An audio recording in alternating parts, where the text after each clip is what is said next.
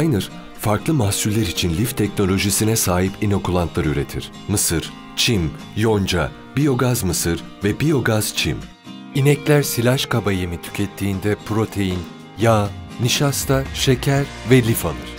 Sonuç olarak toplam lif miktarının yaklaşık %50'si hariç geri kalanların hepsi sindirilir. Bunun nedeni sindirilemeyen lignin adlı bağın sindirilebilir konulara erişimi fiziksel ve kimyasal olarak engellemesidir. Selüloz ve hemiselüloza bakterilerin erişim iznini vermez.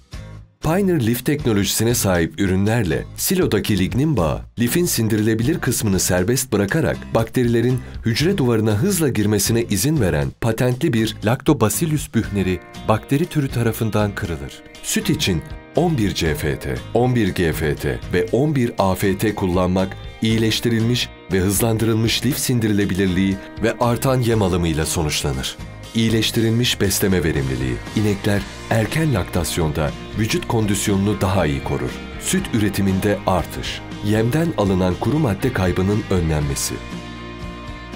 Kayıpları en aza indiren yüksek asetik asit üretimiyle daha az ısınma sorunu, pH değerinin hızlı düşüşünün yüksekliğiyle verimli fermantasyon sağlanır. Daha az fermantasyon başarısızlığı ve protein bozulması riski olur. Mısır ve soya ununun azaltılmasıyla maliyetleri düşürür ve buna rağmen süt üretim seviyesi korunur. Pioneer Lif teknolojisine sahip ürünler daha yüksek lif sindirilebilirliği avantajıyla silajınıza dayanıklılık ve yüksek kalite sağlar.